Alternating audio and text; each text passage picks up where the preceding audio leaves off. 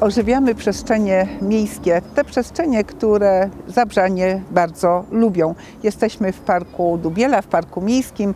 Y, To właśnie tu powstała e, siłownia pod chmurką, plac zabaw. Będą powstawały kolejne miejsca, miejsca, gdzie będziemy mogli spotkać się i spędzić miło czas. To również tu, wokół Parku Miejskiego, będzie przebiegała ścieżka rowerowa. Cała długość tej ścieżki to 10 km, więc myślę, że będzie można miło spędzić czas.